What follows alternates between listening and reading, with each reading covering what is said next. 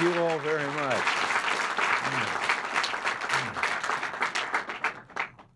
Thank you all very much. I welcome to the old executive office building. You know, I can't help but stick in here. Uh, we do have more than just uh, recent activities in common. I got to remembering the other day that when I was a lifeguard on the Rock River, Dixon, Illinois, all the way through high school and college, and to work my way through school, I had a canoe. I used to rent it out at 35 cents an hour. That's because the people that were renting out the rowboats were charging 25 cents, and I didn't want to seem to be competing with them. Canoes are better than rowboats. Well, anyway, it's wonderful to be having this White House conference on small business again after almost six years. Things certainly have changed in the meantime. Back then, government's view of the economy could be summed up in a few short phrases. If it moves, tax it. If it keeps moving, regulate it. And if it stops moving, subsidize it.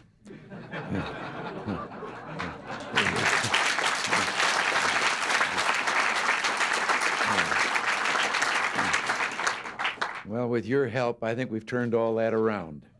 We cut taxes, we squashed inflation, we brought interest rates down, threw out needless regulations, setting the economy on a growth path that has created somewhere in the neighborhood of 11 million new jobs in under four years.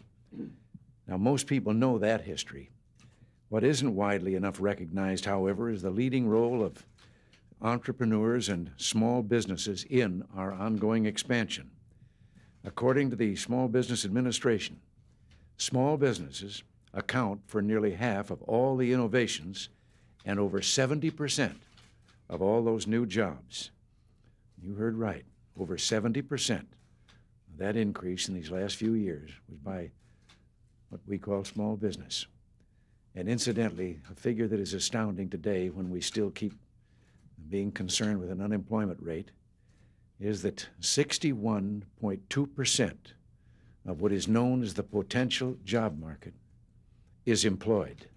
And that is the highest percentage in all our history because that figure is 61.2% of all the human beings, male and female, from ages 16 up. And there never has been that great a percentage employed before.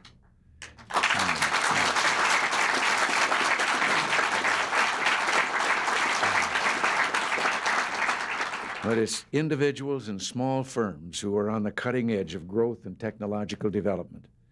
It's entrepreneurs with a new idea or a different approach, visionaries with an impossible dream and the determination to make it happen. These are the people who are propelling our economy forward.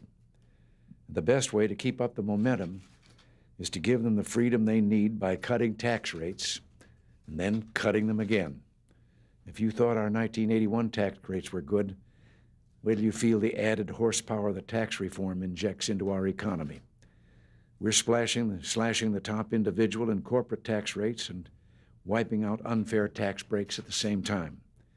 We're going to get America's investments out from under the tax shelters and back into the productive economy where they belong. But we've still got a fight on our hands trying to get cut back federal spending and your continued support on this is vital. Gramm Rudman Hollings is a big help, of course, but if Congress has trouble making the necessary responsible cuts, then they should give me the line item veto.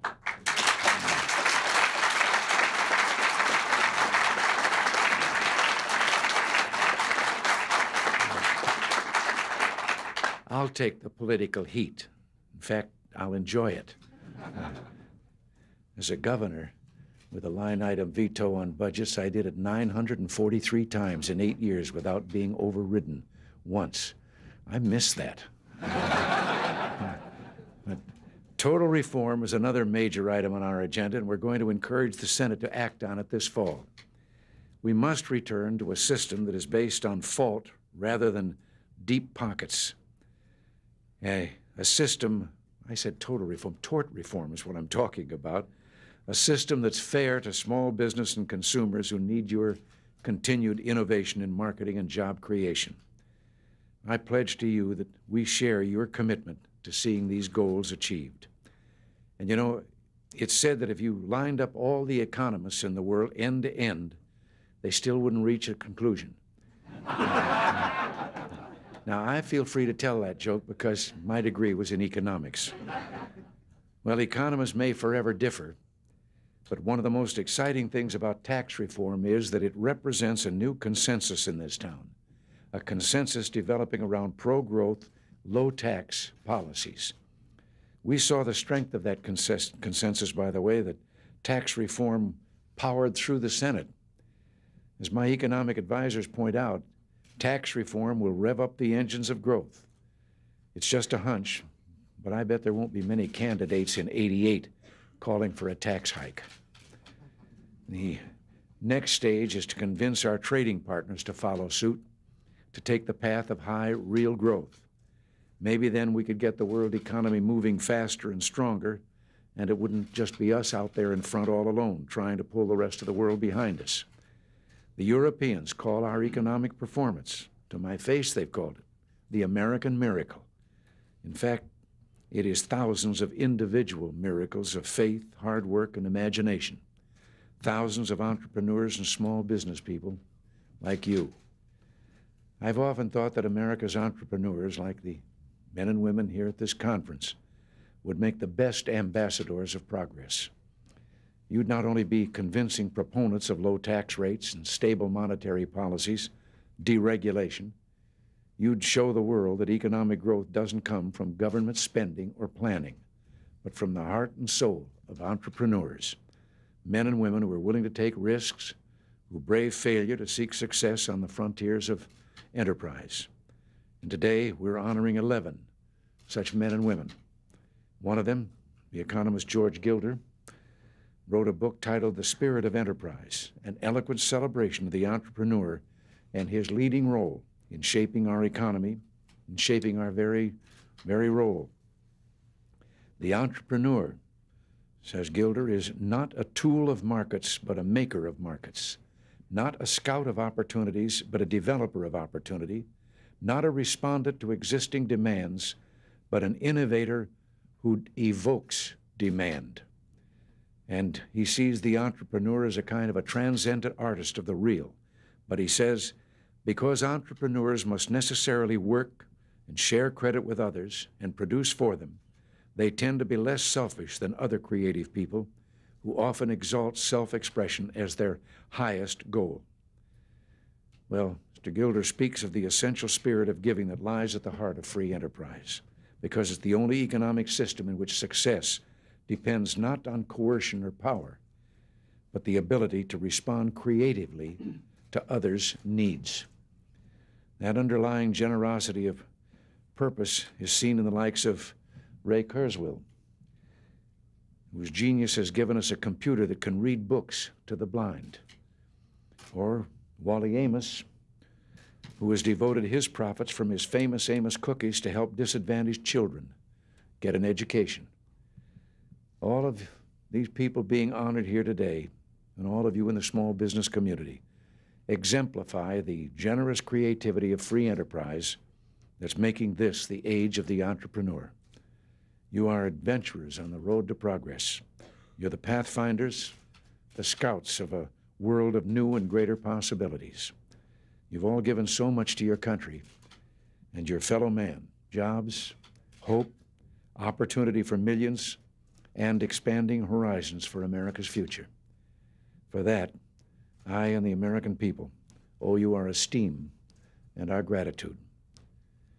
Well, I'm looking forward to meeting you, as I'm going to get to in a very few minutes, and getting the recommendations from the 1986 Conference on Small Business. I will be naming a permanent administrator of the SBA, and I can assure you that Small Business Administration will continue to have an important voice in the councils of government.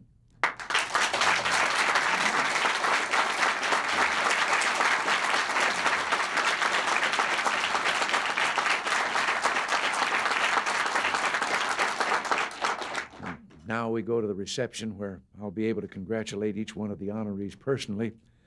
And until then, which is only a few minutes, as I say, down the hall there, thank you.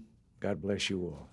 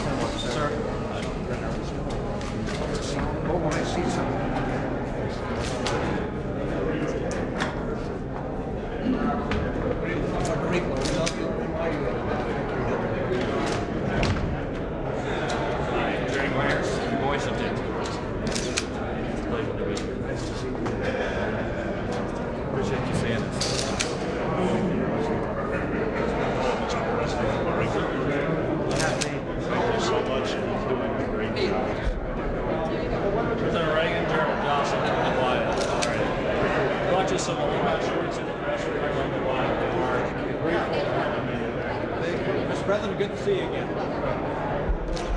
Thank you.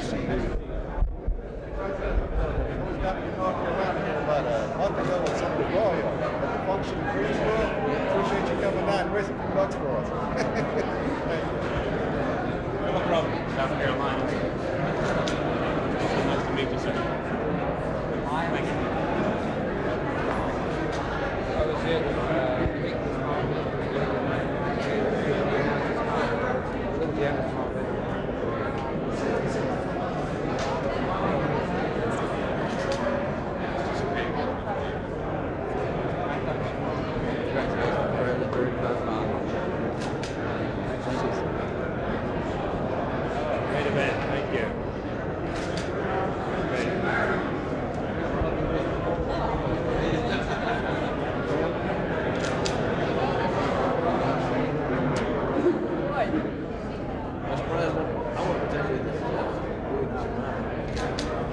changes.